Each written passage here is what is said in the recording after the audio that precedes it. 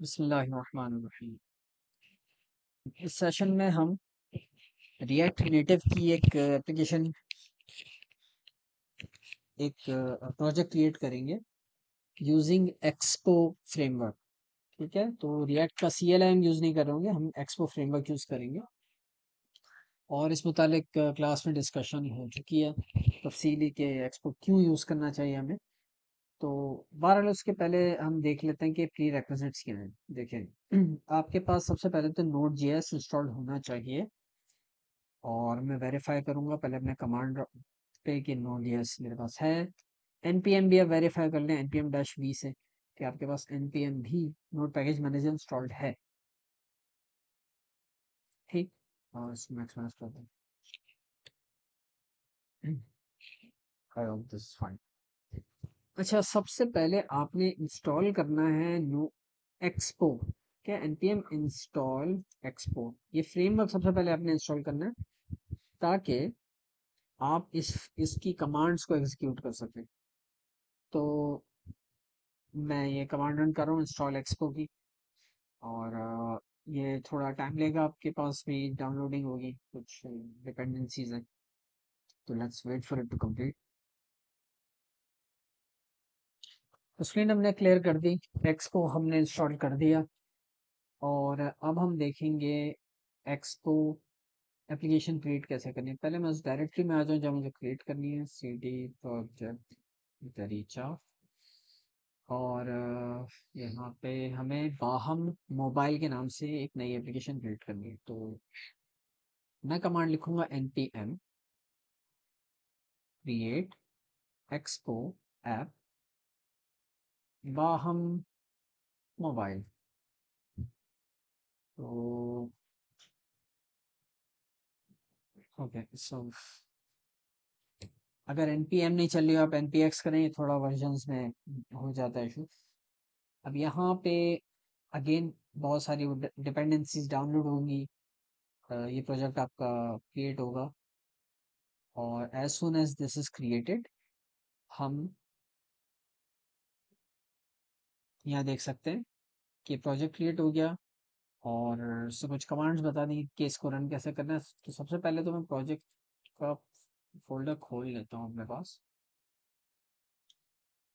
Project तरीचा में हमारे पास है पाहू मोबाइल ठीक है। प्रोजेक्ट का स्ट्रक्चर अगर हम देखें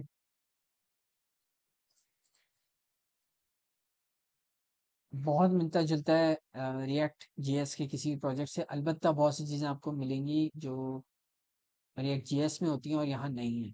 ये तो सेम पैकेज डॉट जिस की फ़ाइल वही है सारी डिपेंडेंसीज मैनेज करने के लिए। जो लाइब्रेरीज हैं, जो वर्जन हैं, आप देख सकते हैं यहाँ पे। और इसके अलावा ये नोट मॉड्यूल्स हैं, यहाँ पे एसेट्स हैं, लेकिन जो मेन फ़ाइल है वो है ऐप डॉट जे एस यहाँ पे आपने सारा ये, आपकी जो है वो एंट्री पॉइंट है आपके एप्लीकेशन के लिए। तो इन सी के पहले से कुछ चीज़ें यहाँ पे मौजूद हैं। एक व्यू बना हुआ है उसमें टेक्स्ट है एक स्टेटस बार है एक स्टाइल शीट है। इनको हम देखेंगे फर्दन फर्दन पहले हम देखते हैं कि इस प्रोजेक्ट को हमें रन कैसे करना है ठीक?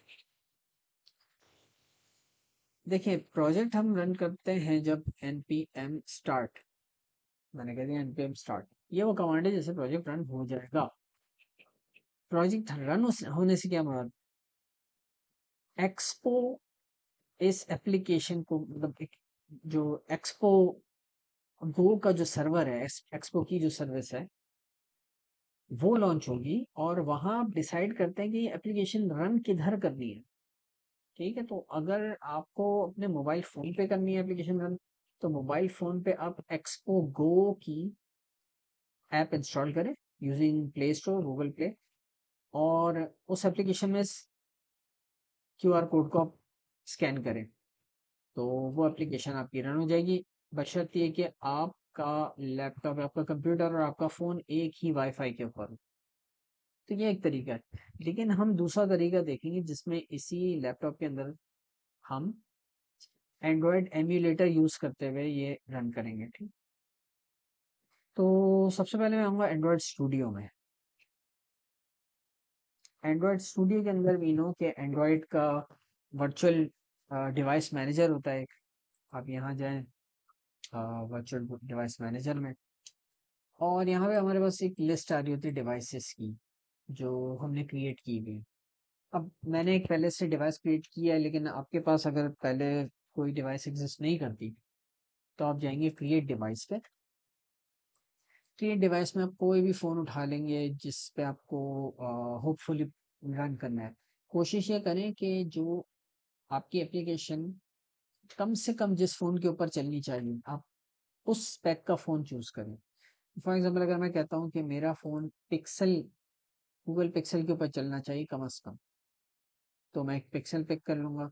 वरना और भी बहुत सारे आपके पास जेनरिक ऑप्शंस भी है बट पिक्सल मुझे पता है कि दिस इज़ ऑलमोस्ट फोर और फाइव ईयर्स ओल्ड बल्कि इससे भी शायद ज़्यादा होगा इसको तो अगर मेरी एप्लीकेशन इस पर चल जाती है तो बाकी पिक्सल के दूसरे जो फ़ोन है, इससे ऊपर के जितने फ़ोन हैं उन पे भी होपफुली रन होगी। मैंने पिक्सल सेलेक्ट किया। मैंने कहा नेक्स्ट अब यहाँ अगर आप देखें तो उसने कुछ सिस्टम इमेजेस के लिए रिकमेंडेशन दिए हैं। सिस्टम इमेज क्या है? वो ये पूछ रहा है आपसे कि एंड्रॉयड की जो आप डिवाइस बना रहे हैं, जो एमुलेट करना है, जिस फ़ोन के ऊपर आपको वर्चुअल फ़ोन के ऊपर, उसमें ऑपरेटिंग सिस्टम कौन सा हो एंड्रॉयड का? तो यहाँ हम चूज़ करते हैं ऑपरेटिंग सिस्टम क्या सोच के कि हमें कम अज़ कम किस वर्जन पे ये चलानी है एप्लीकेशन तो मैंने यहाँ पे चूज़ कर लिया नुगेट 7.1.1 आप अगर चाह रहे हैं कि आपको और किसी ओरियो पे चलाना है कम अज कम, सो ओरियो और पाए और क्यू इससे ऊपर के सारे वर्जन के साथ कंपेटेबल हो तो आप ओरियो सेलेक्ट कर लें। लेकिन उसके लिए आपको ये जहन में रख कि आपको ये इमेज पहले डाउनलोड करना पड़ेगा। डाउनलोड से मुराद ये गूगल प्ले से इसकी एक इमेज फ़ाइल डाउनलोड होती है, वो इमेज फ़ाइल कॉपी होती है आपके वर्चुअल डिवाइस के अंदर। तो तब जाके आपका ऑपरेटिंग सिस्टम कॉन्फ़िगर होता है उस वर्चुअल डिवाइस पे या वर्चुअल फ़ोन पे। ये तो मैंने पहले से एनोवेटिस डाउनलोड किया हुआ था। मैंने सेलेक्ट किया, मैंने कहा नेक्स्ट अभी मुझे कोई नाम इसको दे दूँ डिवाइस को तो मैं देता हूँ एंड्रॉयड एक्सपो ठीक है। मेरी डिवाइस का नाम है मैं मुझे पोर्ट्रेट में चाहिए। एंड यस आप कुछ एडवांस सेटिंग में चाहें तो चेंजेस कर सकते हैं, लेकिन अभी उसका ज़रूरत नहीं है हमें। और मैंने कह दिया? फिनिश ठीक है? This is a full H D display ten eighty by nineteen twenty मैंने फिनिश कर दिया। एंड्रॉयड एक्सपो के नाम से एक नई डिवाइस क्रिएट हो गई। ठीक? अब मैं इसको करूँगा रन जब मैं इसको लॉन्च करूँगा तो पहले फ़र्स्ट लॉन्च में काफ़ी टाइम लेगा, क्योंकि बारह तेरह जीबी का एक इमेज है, वो डाउनलोड होता है एक्सट्रैक्ट होता है। तो मैं इसको अभी लॉन्च नहीं कर रहा। मैं पहले से, मैं ब्रीफ कॉन्फ़िगर्ड मेरे पास एक डिवाइस है, मैं उसको ही लॉन्च करूँगा बट आपने, आप जब इसे लॉन्च करेंगे तो बी पेशेंट थोड़ा ये टाइम लेता है। तो एनीवे मैं अपनी पहले से मौजूद एक डिवाइस को लॉन्च कर रहा हूँ। अब आप देखें स्क्रीन के ऊपर एक फ़ोन नज़र आ रहा है ये है वर्चुअल डिवाइस ये मैं पीछे क्लोज कर देता हूँ, जिसके ऊपर मुझे अपनी एक्सपो की एप्लीकेशन चलानी है।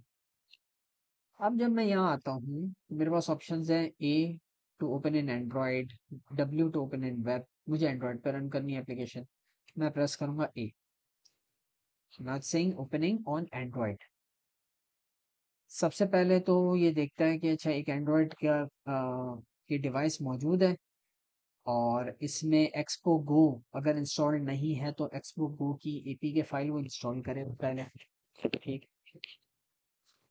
एक्सपो गो की फ़ाइल इंस्टॉल होने के बाद ये एप्लीकेशन एक्सपो गो के अंदर, यानी ये यहाँ से आपने जब रन किया है, इस आपके वर्चुअल डिवाइस मैनेजर में एक्सपो गो के नाम से एक एप्लीकेशन होगी, उसके अंदर ये एप्लीकेशन आपकी रन होगी। तो let's wait till this is completed अब यहाँ देख रहे हैं कि ये बंडलिंग कर रहा है, कुछ कंपाइलिंग कर रहा है की। और जैसे ही कंप्लीट हुआ एप्लीकेशन लॉन्च हो गई। आप देख सकते हैं open up app dot J S to start working on your app तो ये मेरे पास प्रोजेक्ट रन हो गया। अब मैं इसकी एक, एक एक्सरसाइज करता हूँ जो हमने डिस्कस किया था कि व्यूज़ हम बनाएँगे तीन। तो चलिए उसकी तरफ़ आते हैं कि व्यूज़ हम किस तरह से क्रिएट कर सकते हैं। पहले से जो कुछ मौजूद है मैं रिमूव कर रहा हूँ इस पे यहाँ से। और इस मेन व्यू के अंदर मैं एक व्यू क्रिएट करूँगा। एक्चुअली तीन व्यूज़ क्रिएट करूँगा। Let's copy three times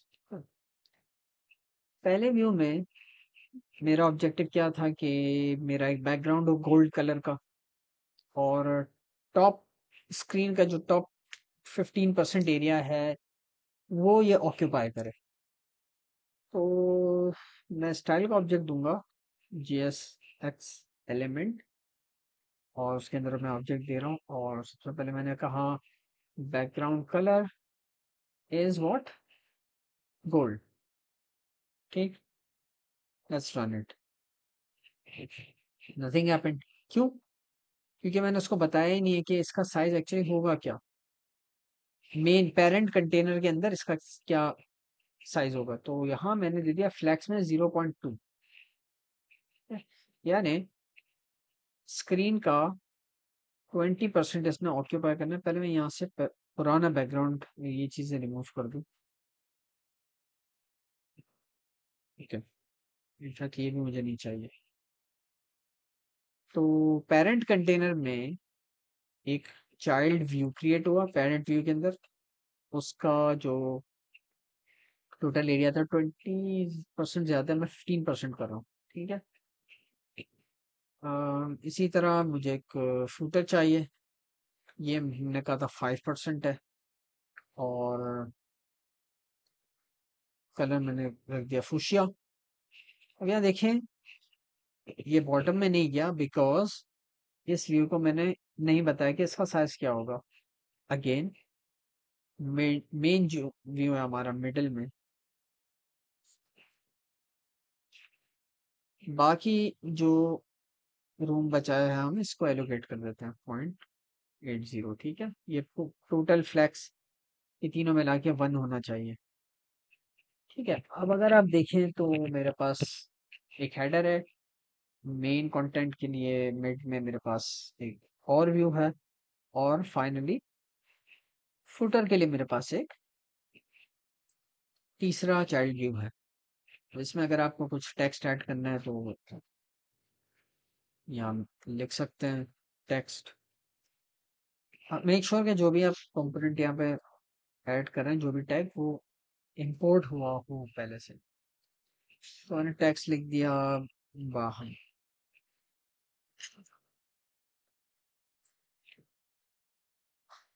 style is font size मैं दे देता हूँ थर्टी टू अच्छा इसके अलावा नाइन सेंटर ठीक। और, फिर मैं वर्टिकल अलाइन भी कर देता हूँ।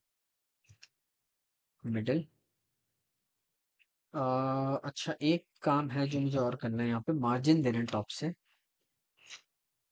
मार्जिन टॉप और मैं इसको दे दूँगा सम ट्वेंटी पिक्सल्स ठीक है? टॉप से मेरे पास थोड़ा सा मार्जिन होना चाहिए ताकि ओवरलैपिंग ना हो किसी किस्म की। मैंने एक टेक्स्ट दे दिया, एक और मैं टेक्स्ट दे देता हूँ इसको एटीन कर देता हूँ। सिक्सटीन भी बहुत है। और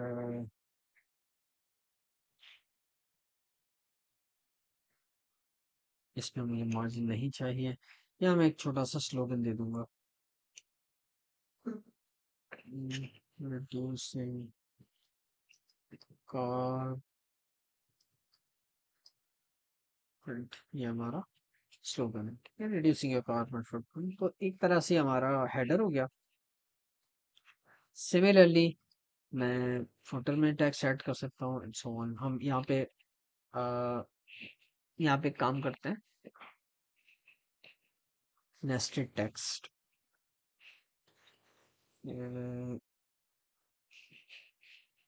style is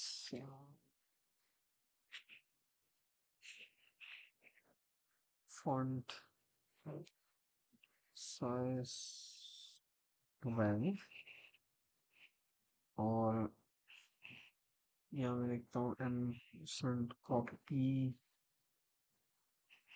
कॉपीराइट के लिए प्रोजेक्ट दर्जीचा 2023 बाय और मैं चाह रहा हूँ जो मेरे पास स्पीड लिखा हुआ आ रहा है इसको तो मैं करता हूँ मिड में पहले।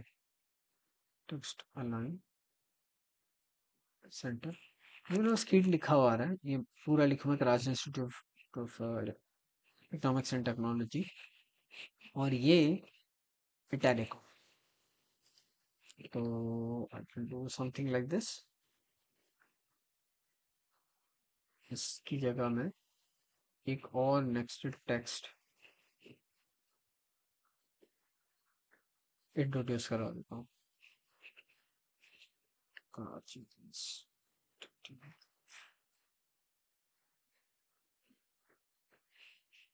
ठीक। और इसका मैं स्टाइल दे देता हूँ।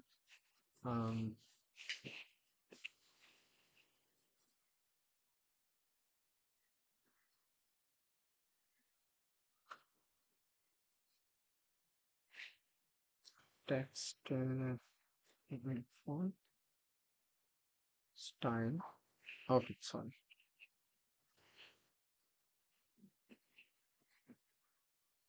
font style is return. so let's see. अगर आपको देख रहा हो इसका साइज़ थोड़ा सा बड़ा करना पड़ेगा। अगर आप यहाँ देखें तो फॉन्ट साइज़ मेरा बड़ा हो गया और ये इटैलिक में आ गया। तो इस तरह से हम नेस्ट कर सकते हैं टेक्स्ट आई होप कि ये we find this this video to be helpful. Thanks.